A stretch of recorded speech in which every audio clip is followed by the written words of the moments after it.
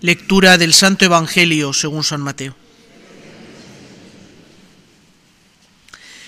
En aquel tiempo dijo Jesús a sus discípulos, Si vuestra justicia no es mayor que la de los escribas y fariseos, no entraréis en el reino de los cielos.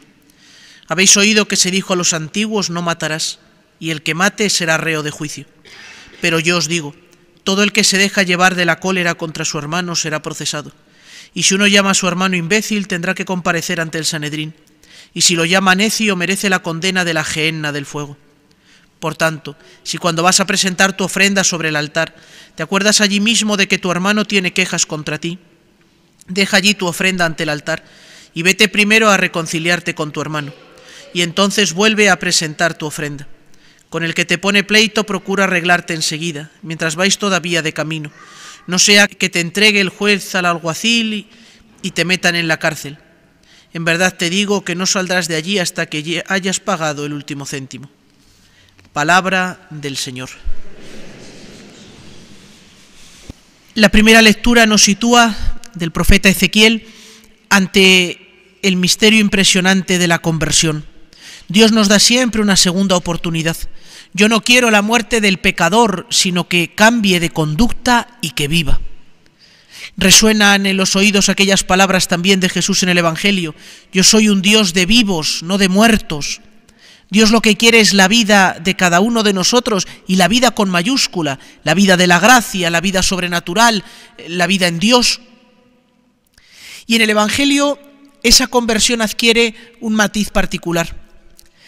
Mientras que el pueblo de Israel se había quedado, podíamos decir, en una ley de mínimos, la lógica de la ley.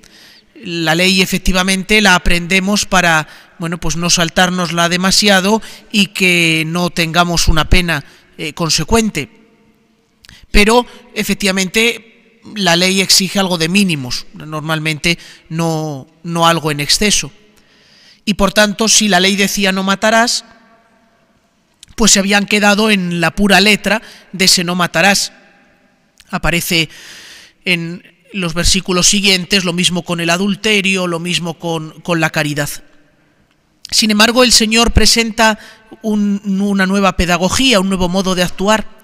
Ya no es la ley de mínimos que proviene de la ley, sino la ley de máximos que proviene del amor.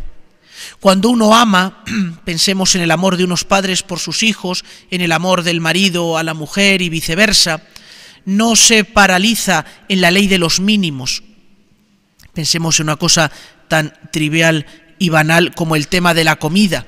¿no? Pensemos en las abuelas y en las madres que no se paralizan en las proteínas que el niño debe eh, comer para alimentarse, sino al contrario, ¿no?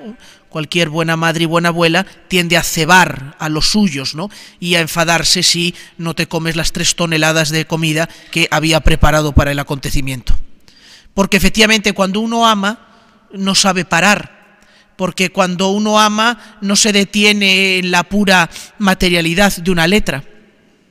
Por eso la conversión hemos de entenderla precisamente desde esa lógica del amor.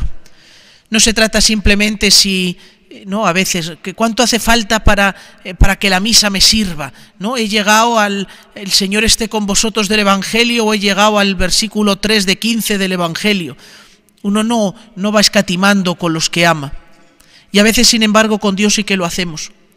A veces parece que de una manera inconsciente, pero ¿cuál es el mínimo que le tengo que dar a Dios para tenerle contento? E insisto, sin embargo, eso con las personas con las, a las que amamos aquí en la tierra, no razonamos de esa manera. Vamos a pedirle al Señor que en esta cuaresma dilate nuestro corazón. Ahí el sentido aparecía en la oración colecta de la penitencia de estos días. La mortificación va dirigida precisamente a arrancar de nuestro corazón tantas cosas que lo envilecen, que lo convierten en pequeño, y por la penitencia y con la gracia de Dios ensanchamos el corazón, dejamos que de verdad tengamos ese deseo de amar a Dios hasta el final, en lo pequeño y en lo grande. No se trata muchas veces de cosas extraordinarias, sino de descubrir ese amor en las cosas más pequeñas, en lo que hacemos todos los días. Que así sea.